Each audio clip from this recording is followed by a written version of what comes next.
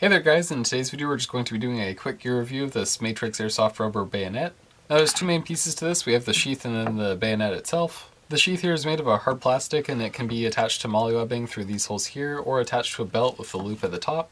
As for the bayonet itself, its handle is pretty hard plastic, it's nice and rigid. The blade on the other hand is made of rubber so it's pretty malleable. If you stab someone with this, I would advise against that because it's still going to hurt. It might bruise someone, but it's not going to penetrate their skin most likely. At the top of the blade it's kind of serrated, made to look that way at least, and then the rest of the blade is pretty smooth.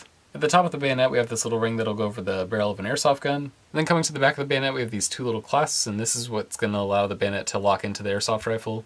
So I should mention that this band is designed for M4 and M16 airsoft rifles and it should fit most of them. So here I have the JG SR16M4 and we're going to be able to slide the bayonet just over the barrel and then it'll clip into this little nub here.